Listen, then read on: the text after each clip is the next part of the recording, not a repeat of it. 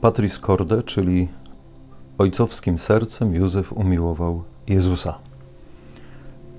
Dlaczego temat ojcostwa? Myślę, że on jest dzisiaj, zwłaszcza dzisiaj, bardzo istotny, bardzo ważny. Zawsze jest ważny. Zresztą temat macierzyństwa również, ale myślę, że nie tylko ja, od pewnego czasu temat kobiecości w dużej mierze jest obecny w kulturze, w narracji kulturowej. Tymczasem, jeśli zapomnimy o tym, że jest jeszcze druga część, drugi wymiar, ojcowski, męski, to nastąpi brak równowagi, wtedy będziemy mieć problem i myślę, że mamy problem. I współczesna kultura ten problem widzi.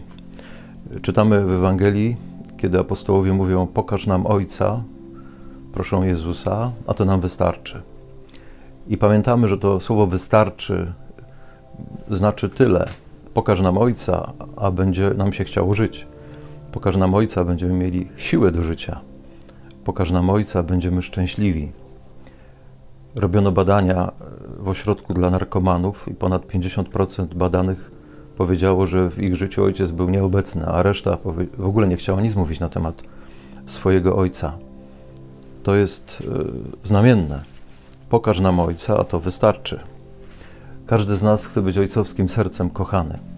Każdy z nas chciałby mieć relację z ojcem. Tymczasem wiemy, że nasi ojcowie zawodzą. Tak było przez wieki, tak jest również dzisiaj.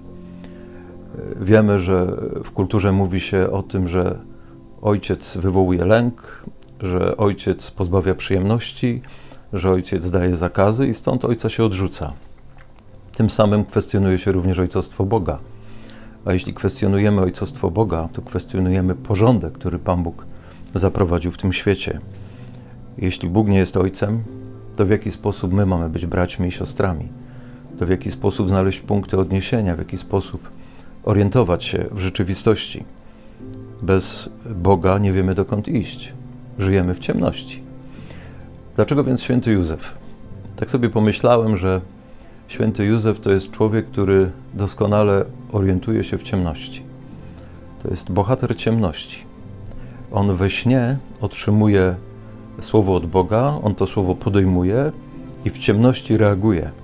Dlatego tak bardzo ważne, żebyśmy chcieli świętemu Józefowi się przyjrzeć, bo to jest bohater na ciemność, którą myślę przeżywa dzisiejszy człowiek, który nie wie dokąd iść. Potrzebujemy przewodnika, potrzebujemy kogoś, kto sam rozpoznał Boga jako Ojca dla siebie i jednocześnie staje się Ojcem dla nas i ojcowskim sercem może nas przyjmować. Patris Corde, ojcowskim sercem ukochał Jezusa, przyjął Jezusa, a więc zapewnił mu dom i zapewnił mu genealogię. To jest to, czego nam dzisiaj brakuje. Dzisiaj wielu ludziom brakuje domu i brakuje korzeni, brakuje genealogii. Jeśli pomógł Jezusowi stawać się tym, kim miał być, to myślę, że pomoże również stać się e, nam, ludźmi świadomymi własnej tożsamości. Dzisiaj wielu z nas jest niedojrzałych. Dzisiaj hołduje się kulturze niedojrzałości, ponieważ nie rośniemy, nie wzrastamy, bo nie mamy autorytetu. Rzecz ciekawa, że święty Józef, że Józef znaczy Bóg daje wzrost, Bóg pomnaża. A więc można przetłumaczyć imię Józef jako autorytet. Józef to jest ten, który pomaga wzrastać. Pomagał wzrastać Jezusowi w mądrości, w latach i w łasce u Boga i u ludzi. Skoro pomógł Jezusowi, to myślę, że również pomoże nam wzrastać. Chciałbym, żebyśmy go wzięli sobie za patrona, nie tylko tych rekolekcji, ale całego naszego życia i uświadomili sobie, że Józef w ciemności będzie nam pomagał wzrastać, stawać się dojrzałymi. Tak więc zapraszam Was na rekolekcje, które będą mówić o Bogu, który jest Ojcem i który nas kocha, i które będą interpretować modlitwę Ojcze Nasz oczami świętego Józefa. Patris Corde, czyli Ojcze Nasz, widziane oczami świętego Józefa.